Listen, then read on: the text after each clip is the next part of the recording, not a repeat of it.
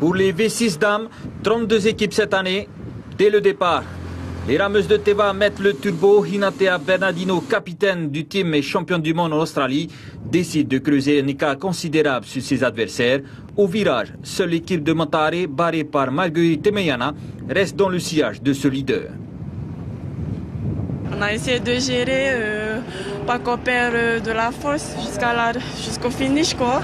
Et c'était quoi les consignes en tant que capitaine? C'était quoi dans les coups de rame C'est quoi Après, une affaire euh, et Sur le retour, pas de surprise, l'équipe de Teva confirme son état de forme.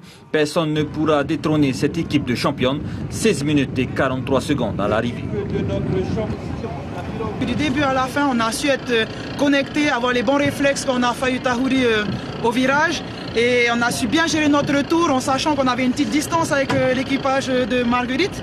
Du coup, on essaie de gérer et pousser à la fin pour donner tout ce qu'on avait qui nous restait. Pour le V6 hommes, 78 équipes engagées, un départ canon comme d'habitude, avec les équipes fortes qui se détachent rapidement. Au départ, comme au retour, l'équipe 1 de Shell, dirigée par Kevin Serran Jérusalemi, mène les débats. Seul le team OPT a pu s'intercaler à la deuxième place devant l'équipe 2 de Shell, mais impossible d'envisager d'accrocher les leaders. 14 minutes et 2 secondes au finish. Fallait bien sortir dès le départ et c'est ce qu'on a fait. En plus avec les deux autres formations, du coup, on est très bien sorti après on a fait que gérer à l'avant. On voyait que personne ne revenait, du coup on a fait que gérer, faire quelques attaques, assurer le virage et au retour, tout donner. Voilà.